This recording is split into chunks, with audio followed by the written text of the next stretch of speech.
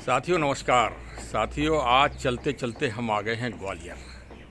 और ग्वालियर तो आप जानते ही हैं कि गर्मी के मामले में बहुत ही प्रचंड गर्मी यहाँ पड़ती है। और मैं पहुँच गया हूँ एक छोटी सी बगिया है। और उस बगिया में मैं इस समय मौजूद हूँ। और देखिए, आपने प्रयास करके, इनको आपने लक्ष्मी जी साहब ये बताइए कि इन गमलों को आपने इकट्ठा क्यों कर रखा है? क्योंकि अभी इस साल मार्च में गर्मी ज़्यादा शुरू हो गई है तो लू से बचाने के लिए इनको इकट्ठा कर दिया। अच्छा। हाँ, हाँ ये आपके इधर हमने प्रयोग बहुत अच्छा देखा हाँ, और आपके पौधे भी बड़े स्वस्थ हैं। हाँ तो इसीलिए हैं इनको गर्म हवा और धूप से बचाने के लिए सब। अच्छा ये आपने मालती बेल का इतना अच्छा मंडप क्यों कैसे क्यों क्या उद्देश्य है आपका? इसका उद्देश्य देखिए हम हमारी जो पारिवारिक प्रेरणा है उसके अनुसार पेड़ पौधे और जीव जंतु दोनों का संरक्षण है। तो यहाँ पे जो छोटी छोटी चिड़िया हैं वो घोंसले बनाती हैं। अच्छा अच्छा अच्छा अच्छा। उनके संरक्षण के लिए ये बनाया है। वाह साहब वाह। ये तो मंडप आपका बहुत ही दिव्य बना हुआ है। हाँ। और चलिए मैं आपको अंदर से भी दिखाने का प्रयास कर रहा हूँ। देखिए किस तरह से बहुत ही सुंदर और यहाँ बड़ी अच्छी छाया है। हाँ। और बहुत शीतलता है। तो चलिए आप लोग भी इस समय जो भी विशेषकर ट्रांसफ़र जॉब में हैं वो लोग इस क्रिया को अपनाएँ कि गमलों को जहाँ सैड आ रही है वहाँ पर इकट्ठे करके रखें।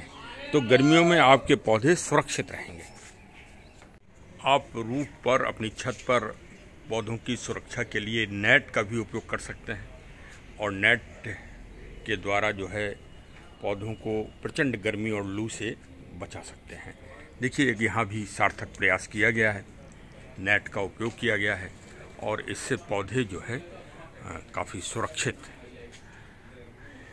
देखिए, क्रॉटन भी अच्छा विकसित हो रहा है और उसके पत्ते भी सुरक्षित हैं, नहीं तो गर्मियों में अधिकतर पत्रे, पत्ते बदरंग हो जाते हैं और जल जाते हैं।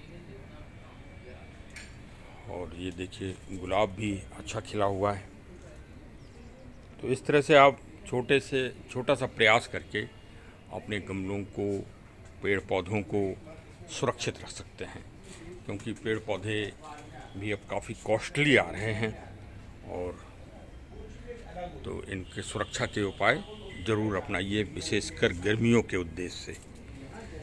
चलिए, हमारे चैनल से जुड़े रहिए और समय समय पे अच्छी जानकारी प्राप्त करते रहिए। इस समय बेला में फूल भी आ रहा है। ये सामने बेला का पौधा है और इसमें फूल भी इस समय आ रहे हैं। लेकिन आपको अब विशेषकर सैड में ही रखना पड़ेंगे पौधों को। अब आखिरी में एक और विनम्र निवेदन कि अपनी अपनी छतों पर, अपने मकान के बाहर पानी का अवश्य थोड़ा बहुत इंतज़ाम कर दें, वो भी मिट्टी के बर्तन में, जिससे जीव, पशु पक्षी, सभी लोग इस भीषण गर्मी में पानी प्राप्त कर सकें, जल प्राप्त कर सकें। चलिए, हमारे चैनल से जुड़े रहें और प्रकृति पर्यावरण का संरक्षण, संवर्धन का प्रयास करते रहें। धन्यवाद। जय हिंद जय हिंद जय हिंद।